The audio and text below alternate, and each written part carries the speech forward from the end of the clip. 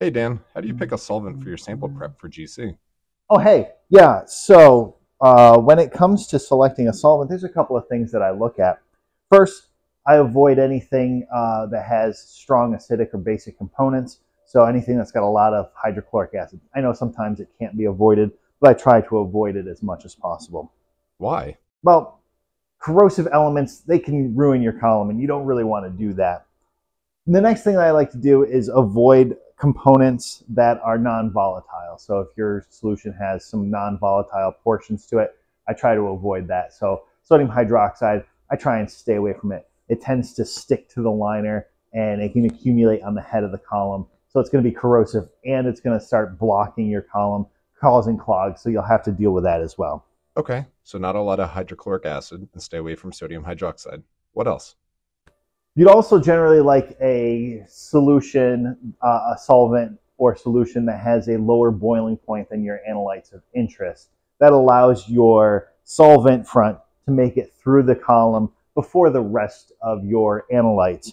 Uh, and with a bit of luck, you'll also get some solvent focusing out of the deal, which is pretty good. So, what solvents will work? So, acetone is fine.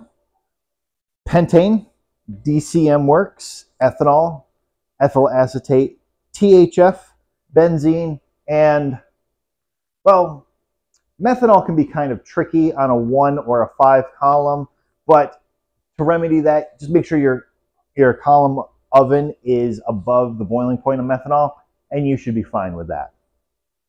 Also, um, the lower the molecular weight, the greater the expansion volume. So if you're using a PVT inlet or you're using water in your solvent uh, and a split splitless uh, setup, you'll have to watch your injection volume. So if you have any questions about that, you can use a solvent expansion calculator online. There's, there's plenty of them to choose from.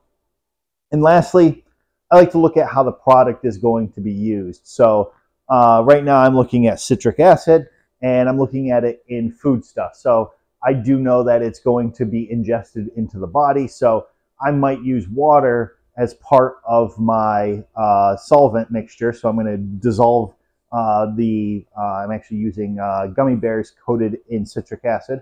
I'm going to dissolve those in water and then I'm going to make up the rest of the volume with either ethanol or I'll look at, uh, for other compounds, I'll look at the polarity. And if I want a non-polar substance, then I'll just use a non-polar solvent to pull it out of the water and into the organic phase. Thanks. Yeah, you're very welcome.